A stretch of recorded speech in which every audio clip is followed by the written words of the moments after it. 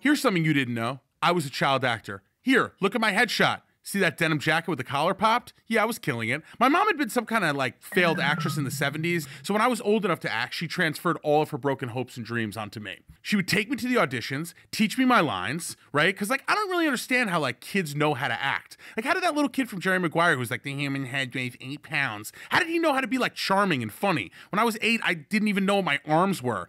So we'd go to the audition, I'd read a couple lines, and then I got taken to McDonald's. It was amazing. Anyway, I had booked a role in a Hershey's chocolate syrup commercial, so my career was basically on fire.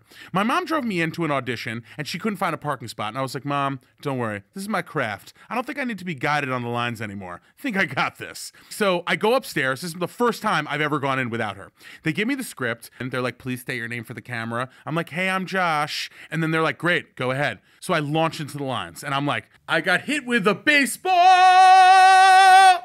Entire room is silent guy's like, um, okay, do you think we could try that again? And I'm like, okay, okay, I feel that. Let me get in the groove. And I'm like, I fell down the stairs. And like they're like, mm, no, can you give give us one more? And I'm like, all right, this one, I'm giving it my all. My career is too hot to fizzle now, so I go for it. And I'm like, I got hit with the closet door, spin around, and then land in some kind of like a weird split. The entire room is shocked.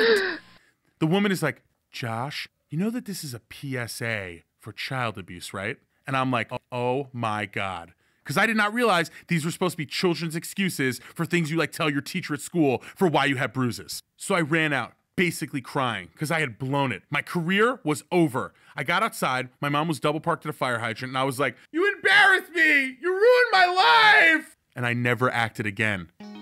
I gave it up to pursue my dream of being a professional baseball player.